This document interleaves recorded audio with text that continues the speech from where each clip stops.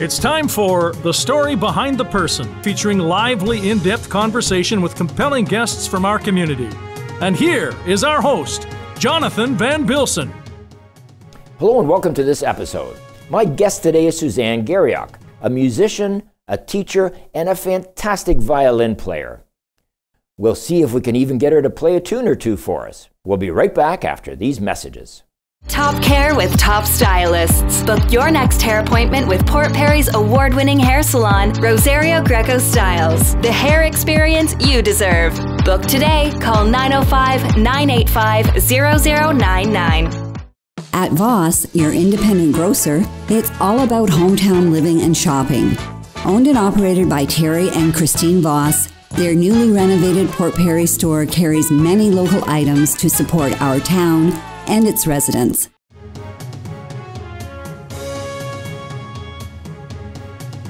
Welcome back. As I mentioned, my guest today is Suzanne Garriock, a musician, an educator, and a fantastic violinist. Suzanne, welcome to the show. Thank you for having me. So, I don't know that much about violins, so I'm eager to find out a whole lot about it. Before we get into that, I want to find out a little bit about you. So, you live in Durham Region? I sure do. I live right here in Port Perry. Wow. And but you weren't born here. You have a slight, slight French accent. Oh, you which, noticed. Which tells me you must be from Quebec. I am from Quebec, born Where- and raised. Whereabouts? Um, I grew up mostly in Montreal, in the East End, in Ville d'Anjou. And uh, when I was in my early teens, my parents uh, moved to the country. Okay. So you started playing the violin when you were young, I assume. Yes. How old were you when you started playing? Well, when we were visiting cousins, I have 27 first cousins. 27 of course, you're French, yes. We're French Canadian, right? um, my cousins were all learning the violin and the cello. And when I was eight, I got to try my cousins, who's the same age as me, because I've Okay. got several or same age, as me. And uh, I was hooked. I was completely hooked. And I had to work hard on my parents. I come from a very modest family, so I had to work hard for my parents to. Uh, to buy me a violin and start learning. Was it a, your are your parents musical? My dad was a tenor. Okay. Um, didn't do that professionally, but he was trained professionally. Right.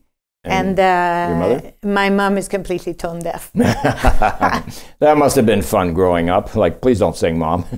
well, please don't sing, mom, but she was very um, uh, knowledgeable Mm-hmm. about music and um, always encouraged us to uh, to grow with our Right. um, musical music education. yeah, I, I have an issue with singing too. I think I sound great, especially in the shower, but other than that, nobody else seems to think so. And it's okay until I go to church, and it, where you feel obligated to sing, right? Yes. So I'm sure that was the case. but church is a safe place to sing. Yeah, no, not when I sing.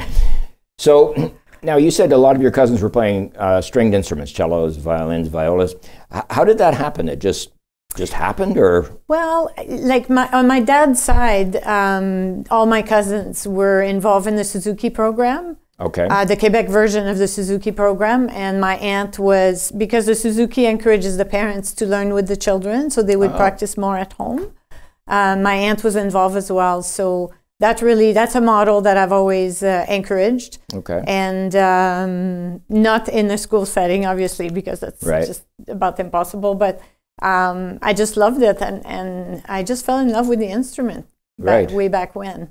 it's it's a beautiful instrument. Um, the technique of playing a violin, I think, is extremely difficult. Um, if if someone plays by ear, then on a piano, for example, you can hit the keys and you kind of note get is the right there. Yeah, and on a violin, if you can play by ear, you may know where the note is, but first of all, there aren't any frets, right? There is not. so you're kind of all over the map with, with the well, fingers. you're not all over the map. There is a technique, and you just have to learn it. right, but it's much more difficult to learn a violin technique than, than say, another instrument. I don't want to downplay instruments because I know they're all very difficult to learn, but some are easier than others, correct? Well, I kind of Googled this because I kind of knew you were going to ask me this question. so I, I, I kind of Googled what, what instrument was the most uh, difficult to learn, and the violin came up as number one. Right, I could see that. However, um, throughout my career, I tried to make it as accessible as possible and teach as many Right. kids as possible because I just love it.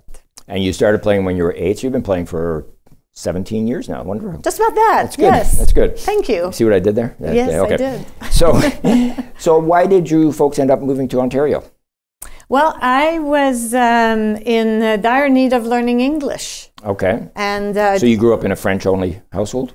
Absolutely. Okay. Although some of those cousins um, are, um, my uncles were French, but they all married I- Irish ladies. Oh, okay. So my Wow. cousins are first language English, second language French. And uh, so, but when, when in my studies, I studied in physiology Okay. and uh, I was in dire need of lear- learning English, Right. I mean, which I thought I knew until I moved here. well, it's like me speaking French, right? I thought I know how to speak French until you said something to me in French, and that was the end of that. So, how old were you when you came to Ontario? I, I came in 1989 Okay. um, for one year. okay. oh, Just for one year? Yeah, yeah, yeah. Didn't like it? Uh, no, I loved it. Oh. And then I stayed for one more year because I loved it. Okay. And my English still needed work. right. And then the third year I was here, uh, I was teaching grade eight and phys ed Okay. and uh, participating in um, Ontario Philharmonic Right. Orchestra Okay. and the Scarborough Philharmonic Orchestra and doing weddings for people that Really? found out that I played the violin. And I met some wonderful people here. And then they offered me grade one. and Oh. I never saw me. I always thought, saw me as a professor or and of high school s- Yeah. teacher. And they offered me grade one, and I had been observing um, the primary teachers for two years, and I thought, oh, I want to try this. Right. So I So- stayed. So, were you teaching in Quebec, or were N- you well, no, well, mm. were you thinking of teaching?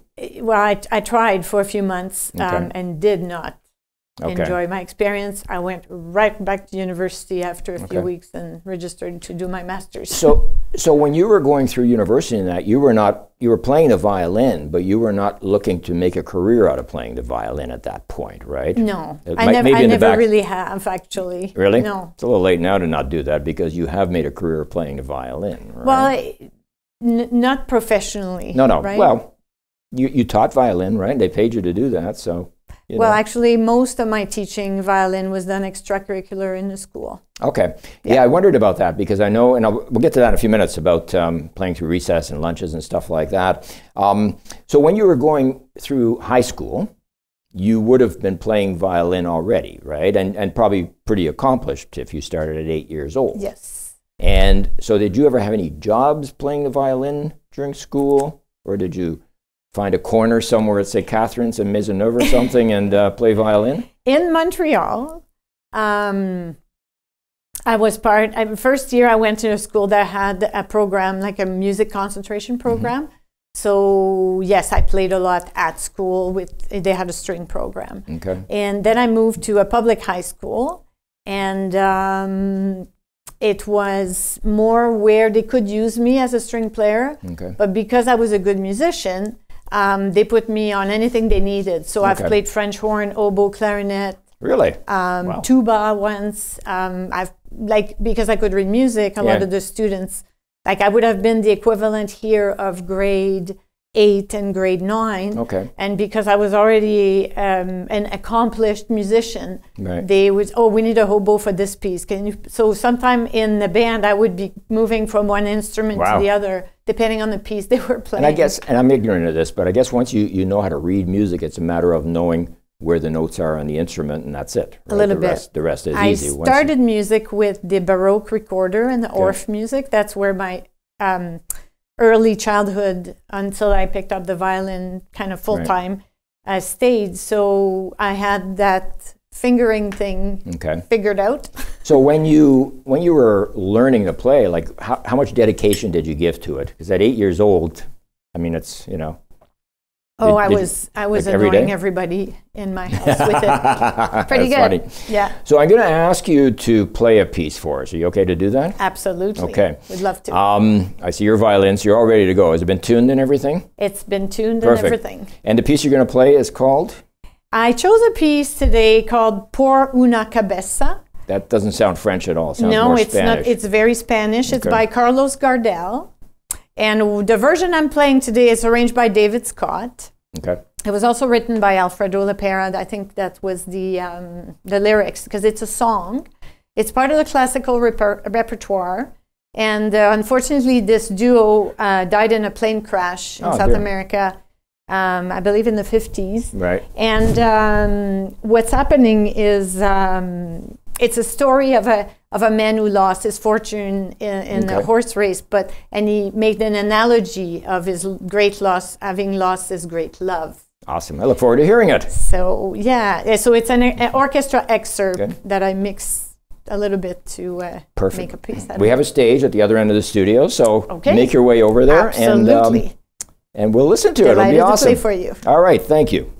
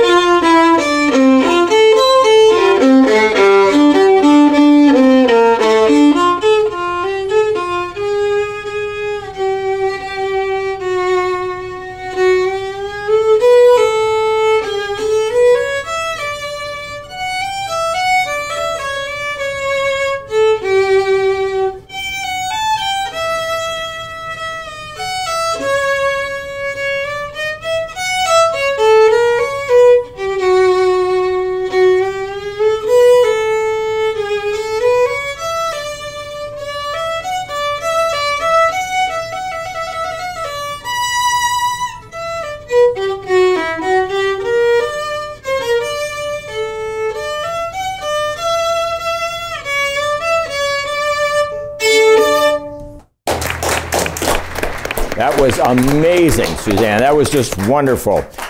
We're going to take a short break. We're going to come back and learn more from Suzanne Garriock, a wonderful musician, and who knows, maybe we'll even ask her to play again. We'll be back right after these messages. PP Print is excited to offer Port Perry wearables, featuring two great designs. Show your Scugog pride with apparel and headwear. We have you covered. PP Print, more than just print.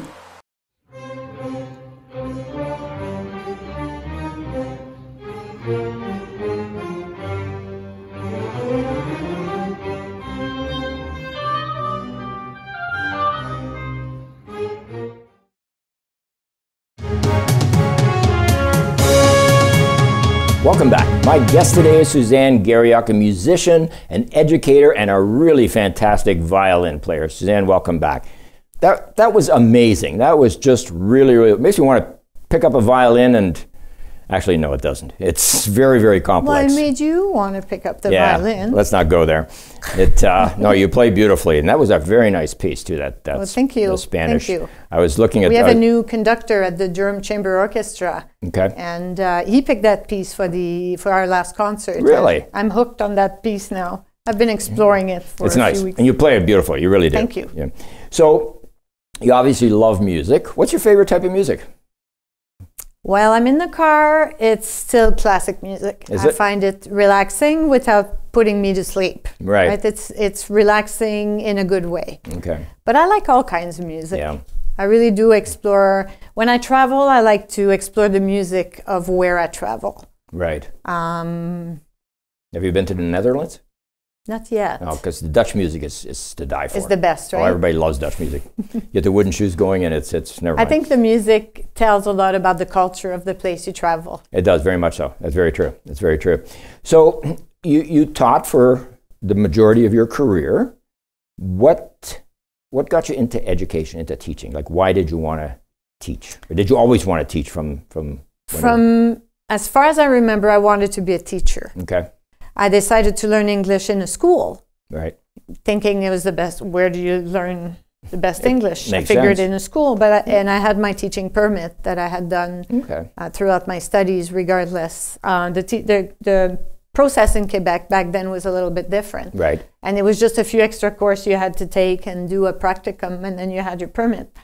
Um, so I came here um, thinking I would just learn English and go back to complete my PhD. right. But once I was in the school and teaching, I realized that That's the love. yeah, Yeah. yeah, it was uh, it was pretty hard to deny after that. But, but you weren't you weren't teaching just music, right? You were teaching whatever the curriculum was. no, I And was a French immersion teacher. okay. uh, oh, okay. 33 years. Wow.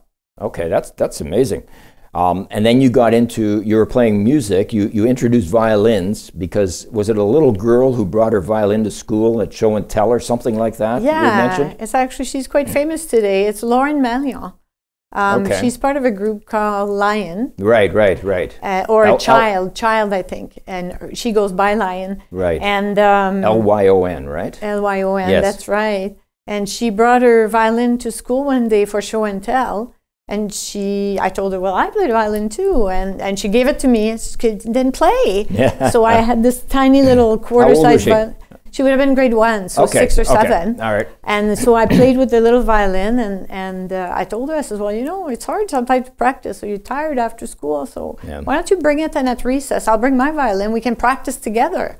And then kids would walk by by at the beginning of recess. Oh, I played the violin too. Can I play, bring mine? And Really? that's how the R.H. Cornish Violin Club was born. Wow. And, And and, then- you went from about um, uh, a couple of dozen kids, 25 some odd years ago, to over 60, right? Yep. When the pandemic When hit. the pandemic hit, we had 66 kids in the program. Amazing. One But it was all extracurricular though.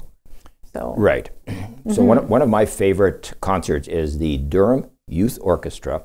When they start, and I think his name is uh, John Beaton, Yes, the conductor. When they start, they're little four-year-old, five-year-olds, whatever, and they play Mozart's "Twinkle Twinkle That's Little right. Star." Yeah, That's and it's right. it's just amazing to hear them with the cute little violins. It's it's unbelievable. So okay, so you were teaching throughout, and um, you you you you ended up with a lot of violins. Some you bought yourself at auctions. Some were donated. Um, so what did you do with these violins? Well, um, if you remember December 2019, um, we had our Christmas concert, and then uh, the teachers were in. Um, we were what we went into work to rule. Okay. So then we couldn't have um, extracurricular anymore. Right. So I called for all the violins to be sent home, like the violins that were privately owned sent home. I sent emails and upon emails. And then the violins that were left at school were I'd, either I got emails that they were donating them to the school or so on and so forth. And then the pandemic hit. Right. And then we couldn't do, you would think violin with the mask, it would have been okay, but we couldn't cross cohort. Right. Um, the government wouldn't allow kids from different classes to get together in the gym, even if it was with social distancing, Right, right, and yeah. allow us to um, to practice together. And then we couldn't do it like every recess, like I was doing before every recess, is then two lunch hour, Right. Because that's what you need to have the time to practice. So anyway, when I decided to retire last year, I was left with 22 violins Wow. in working condition. So I'm go- what I'm going to do is because you played a beautiful classical piece, I'm going to put you on a spot and see if you can do a little bit of a jig. Would you be okay doing that? Challenge on. All right. Why don't you do that? Join us over in the uh, in the other half of the studio, and uh, we'll listen to the uh, the jig.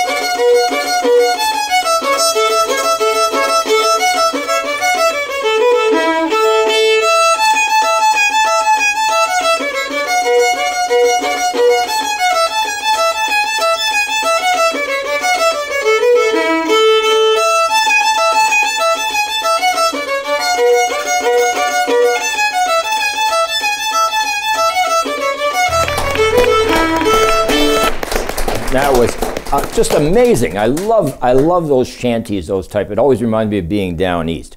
Suzanne, you're an amazing musician. You really are. Thank you. It, um, so I'm intrigued. So you you were just talking before you you um, entertained us with that piece, and that I should mention that was called "The Devil's Dream." Yes. Okay, I may learn to play that one day. The first one I learned. Is that right? Yeah. Wow. Okay, I may not go learn to play it then. Anyways, so you ended up with 20 some odd violins af- at the pandemic that you were stuck with, and then you retired from teaching. And And I tried to return some of those violins to the students, Right. but most of them were, onto other things. yeah, or too small for them. Right. So, and they had donated them. A lot of them I had purchased anyway. Okay. We have a picture, actually, I'm going to ask maybe we can throw it up on the screen of a magazine cover that has you with all these violins around it and that. We'll throw that up on the screen. There it is right there. Look at you. You're so prepared.